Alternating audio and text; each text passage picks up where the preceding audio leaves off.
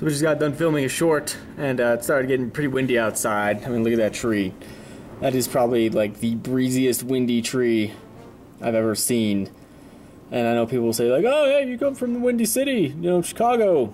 Should be used to the wind." Well, fun fact: the city of Chicago does not get its nickname primarily from it being windy, since there are many other cities windierest than it.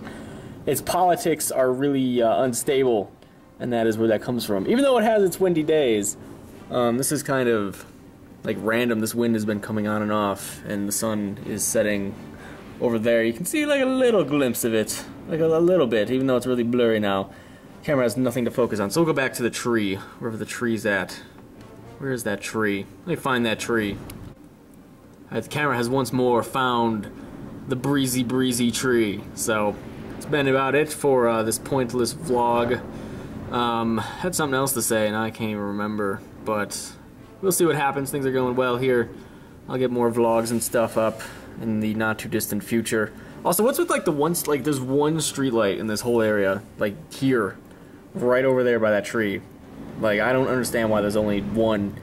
Where the hell are people supposed to deal drugs at around here? I have no idea, but that'll be about it. That short should be up in a couple days. It involves a bunny and some fun dip and it'll be good times ready to go. Speaking of the windy tree, look what all that wind blew in. A bunch of snow. After we had just gotten rid of like all the snow on the ground here, the wind blows in a snowstorm. It looks a lot worse than it actually is outside. I'm not sure how much snow we're supposed to get.